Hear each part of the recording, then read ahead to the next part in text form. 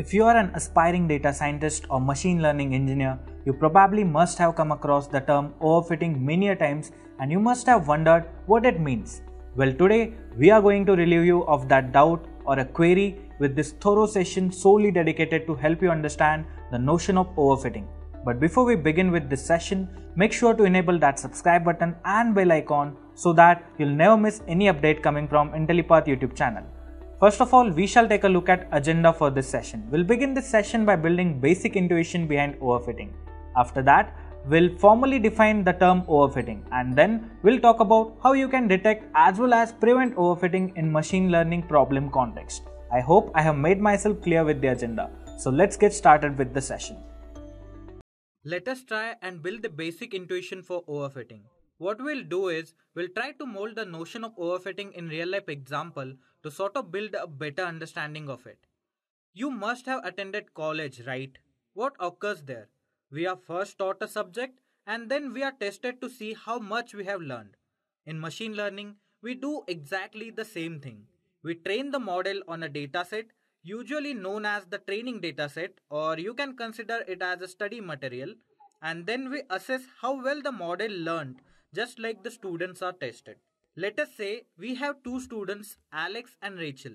Both have been taught the same subject, let's say mathematics. First, we'll try to understand their learning process. Alex had gone through each problem taught in class and learned it by heart without generalizing the concept. On the other hand, Rachel also went through the class notes but didn't learn them by heart. She generalized the concept. Now, when we have seen their learning process, it's time to evaluate their learning. The instructor of the course took an assessment from class notes only. Who do you think scored more? Alex scored 90%. Boom. Where on the other hand, Rachel scored 80%, which is not bad at all. At this point, you must be thinking that the learning process of Alex is better than Rachel. Wait, let us conduct one more test and see the result. The instructor took another test, this time not from the class notes but from the outside to check how well they are good at concept. Who do you think scored more this time? This time, Alex scored 50%, whereas on the other hand, Rachel scored 75%. Wait, what just happened? Bam! Now, what do you say? Who is best among them? Alex or Rachel? That is the entire overfitting concept in machine learning. Evaluation from the class notes is referred to as training set assessment, whereas assessment from outside the class notes is referred as testing set assessment. We might argue that Alex's learning was overfitting since he memorized all the in class notes but did not generalize the concept, which is critical for developing any machine learning model. What evidence do we have? Well, Alex received a score 90% on a training set and only 50% on the testing set, which was conducted on unseen material. The considerable decrease in test set accuracy indicates that the model has overfitted the training data and is unable to generalize the dataset. So, guys, basically, as we were told in schools, instead of by hearting, we should try to generalize the concept like Rachel did. Machine learning takes inspiration from this exact model. Here, we build models using historical data to sort of predict the possible future outcomes on unseen data. And because of that, the generalization of the data becomes a very important task in model building process. Our model performance should be similar on both training set and test set rather than biased on either one. We must consider both training and test set accuracies and then reach a conclusion about whether our model is a good fit or overfit. Generally, a model with 5% difference between training accuracy and testing accuracy is considered as the model with good fitting. I hope now you guys sort of understand the basic notion behind the concept of overfitting. Next, we'll theoretically try to define and formalize it more. Machine learning model building process can be better understood in the form of approximating target function. Let's say f here is the approximating target function which converts the input data x to an output variable y. This characterization right here describes the range of classification and prediction problems and the machine learning algorithms that can be used to address them. An important consideration in learning this approximation function from the training data is contemplating how well the model generalizes to new data. Generalization is important because the data we collect is only a sample. It is incomplete and noisy. And if we provide the outer knowledge to non generalized models, there is a possibility that the predictions made might be completely wrong. A successful machine learning model should be able to generalize well from training data to any data from the problem domain. This enables us to make future predictions based on data that the model has never seen before. But there are two major problems that arise here named as underfitting and overfitting. Guys, the overfitting basically refers to a model that models the training data too well.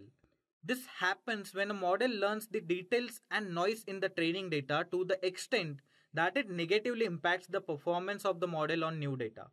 This means that the noise or random fluctuations in the training data is picked up and learned as concepts by the model. The problem is that these concepts do not apply to new data and negatively impact the model's ability to generalize. Overfitting is more likely to happen with non-parametric and non-linear models that have more flexibility when learning a target function.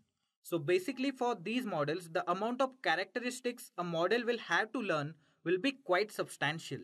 That is the reason why many non-parametric machine learning algorithms also include parameters or techniques to limit and constrain how much details the model learns. There are few more statistical terms that can help us formalize overfitting more. They are bias and variance. So guys, bias is the difference between the average prediction of our model and the correct value which we are trying to predict. Basically, the model with high bias pays very little attention to the training data and oversimplifies the model and eventually it leads to high error on both the training and test data. Whereas variance is the variability of model prediction for a given data point or a value which tells us the spread of our data. Model with high variance pays a lot of attention to training data and does not generalize on the data which it hasn't seen before. As a result, such models perform very well on training data but have high error rates on test data. So if I have to graphically represent this, I'll have four different combinations. High bias and low variance for first. High bias means that the difference between prediction and correct value is high. So look at the diagram right here. There are three circles. The inner circle represents the given correct output values and the outer circle represents the worst case prediction made by the model. Even though the elements are pretty close to each other, the prediction made by the model can turn out to be real mess and this particular scenario is considered as underfitting. Then we have high variance and high bias. In this case, predictions are more inclined towards inaccuracy and inconsistency because the variance is also high and the bias is also high. Third up is low variance and low bias. In this case, the model will be optimally fit to the both train and test data as you can see in this diagram, all the predictions emerge towards the correct given values. Finally, we have high variance and low bias. In this particular case, data will be spread across unsymmetrically and thus the model will need to focus more on data instead of generalization. This will lead to the overtraining of data and thus the cost will decrease. However, when the test data is applied, the model will make wrong predictions and thus accuracy will be really less. Now that we have understood the concept of overfitting, let's move forward and contemplate how we can detect the overfitting in our machine learning model. So the main challenge with overfitting is to estimate the accuracy of the performance of model with the new data. We'd not be able to estimate the accuracy until we actually test it, right? To address this problem, what we can do is we can split the initial dataset into training and test datasets. With this technique, we can actually approximate how well our model will perform with new data. For example, we have 85% accuracy on the training set and a 50% accuracy on a test set. Then automatically it will be a red flag for the model, isn't it? Reason being, it's not efficient enough and when exposed to different dataset, it resembles different accuracy levels. Another way to detect overfitting is to start with simplistic model that will serve as a benchmark. So with this approach, if you try more complex algorithms, you'll be able to understand if the additional complexity is even worthwhile for the model or not. This approach is commonly referred to as Occam's razor test. Occam's razor suggests that in machine learning we should prefer simpler models with fewer coefficients. Repeat. Occam's razor suggests that in machine learning we should prefer simpler models with fewer coefficients over complex models like ensembles. Taken at face value, the razor is a heuristic that suggests more complex hypotheses make more assumption that in turn will make them too narrow and not generalize well. So suppose for a singular problem, you have two models which have absolutely comparable complexities. In that case, you'll be choosing the simplistic model from both. Detecting overfitting is always a good practice guys. Alas, there are also several ways to actually avoid the overfitting. So moving forward, let's take a look at these several ways of avoiding overfitting. The methods we have for this purpose are cross-validation, training with more data, then we have removing features, early stopping, regularization and ensembling as well. Let's talk about each one of them in detail. First, we have cross-validation. This is one of the most powerful methods of preventing overfitting. The idea behind this technique is to use initial training data to generalize mini train test splits and then use these splits to tune your model in a standard k-fold validation. The data is partitioned into k-sets, also known as folds. And after this, the algorithm is trained iteratively on k-1 folds, while using the remaining folds as the test set. In applied machine learning, cross-validation is generally used to assess the skill of machine learning model on unseen data. That is, to use a small sample to assess how the model will perform in general when used to generate predictions on data that was not utilized during the model's training. It is a popular strategy because it is easy to grasp and produces a less biased or optimistic assessment of model competence than other methods, such as simple train test split that we have discovered previously. Now let's talk about training with more data and how it will help in preventing the overfitting in machine learning. This technique does not work always, but it always helps in identifying the signal better. When we are training the model with more data, then it is essential to make sure that data is clean and free from any randomness or inconsistencies. Then only it's going to work for us in preventing or fitting the machine learning model optimally. Then we have removing features. If you have ever worked on machine learning models, you must have come across algorithms that have automatic feature selection parameters. For algorithms that do not have built-in feature selection, we can manually remove a few irrelevant features from the input features to improve generalization. So one way to do is it by deriving a conclusion as to how a feature fits into a model. It is quite similar to debugging the code line by line. And in case if a feature is unable to explain the relevancy in the model, we can simply identify them and remove them. We can also use feature selection heuristics from a starting point as well. So this is how removing features can actually prevent overfitting in machine learning.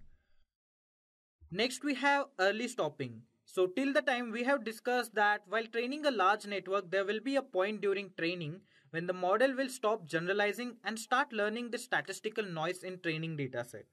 This overfitting of the training dataset will result in increase in generalization error, making the model less useful at making predictions on new data.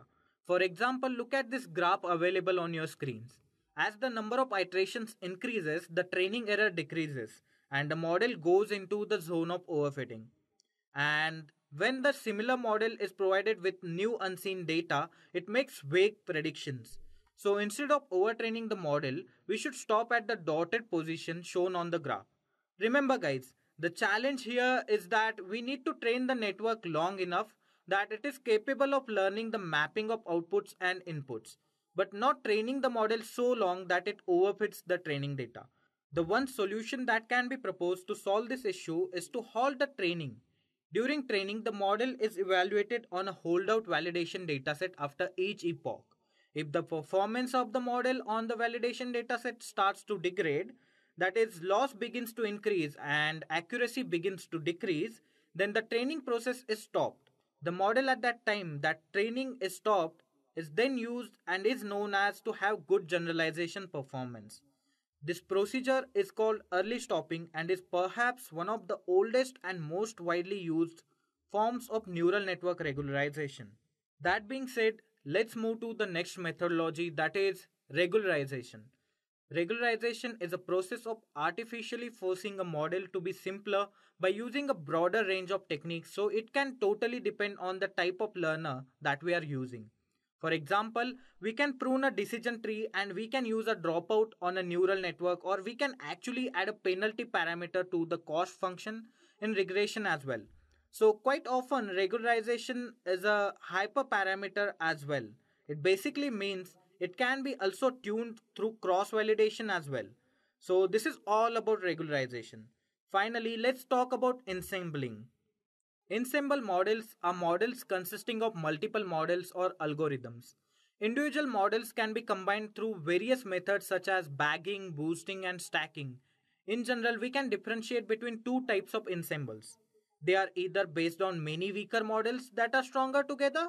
The example for this will be boosting, or fewer well thought of models combined via stacking into a meta model. You can imagine the weaker model as ants one ant can build ant hill, but the whole colony of ant, well, that's a different story. The second group of ensemble methods is more like Avengers. Every Avenger has a unique skill, and they are superheroes already, but they are stronger together.